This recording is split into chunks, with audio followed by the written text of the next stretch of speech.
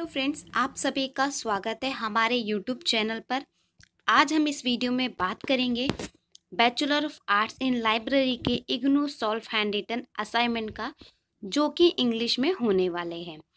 Subject code है B L I two two one library information and society ये assignment उन students के लिए होने वाला है, जिन्होंने जुलाई 2021 और जनवरी 2022 में इस कोर्स में एडमिशन लिया है और उनका ये सब्जेक्ट है। आप यहाँ क्वेश्चन पेपर देख सकते हैं।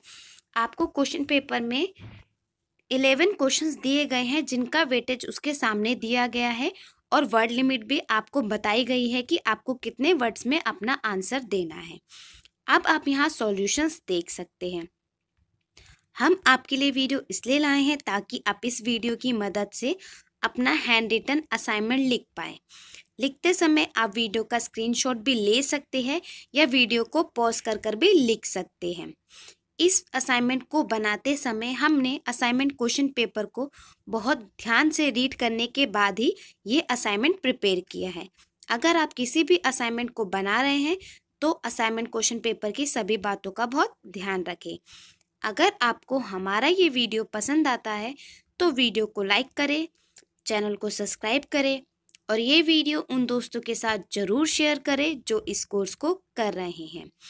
अगर आप इस वीडियो की पीडीएफ को ख़रीदना चाहते हैं या किसी भी कोर्स के हैंड रिटन हार्ड कॉपी का ऑर्डर देना चाहते हैं, ऑनलाइन सबमिशन के लिए हैंड रिटन स्कैन पीडीएफ खरीदना चाहते हैं तो आप हमें व्हाट्सएप नंबर पर कांटेक्ट कर सकते हैं।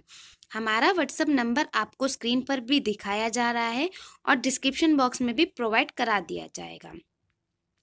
अगर आपको पीएलआई से रिलेटेड कोई भी इशू या प्रॉब्लम है तो आप हमें कमेंट द्वारा पूछ सकते हैं या हमारे व्हाट्सएप नंबर पर कांटेक्ट कर सकते हैं। बीएलआई कोर्स में आपके टोटल नाइन सब्जेक्ट होते हैं, टू टू वन से टू टू नाइन तक सब्जेक्ट होते हैं, जिनमें से कुछ का प्रैक्टिकल होता है और कुछ का थ्योरी। तो हम आपको सिर्फ़ थ्योरी वर्क ही प्रोवाइड करा रहे हैं इस वीडियो में। तो आप वीडियो को पूरा देखें। अगर आपको नेक्स्ट वीडियो में किस असाइनमेंट का सॉल्यूशन चाहिए, वो आप हमें कमेंट करके बता सकते हैं। वीडियो लंबा हो सकता है तो आप सभी वीडियो पर बने रहें। वीडियो को देखने के लिए धन्यवाद। मिलते हैं आपसे एक और नई वीडियो के साथ।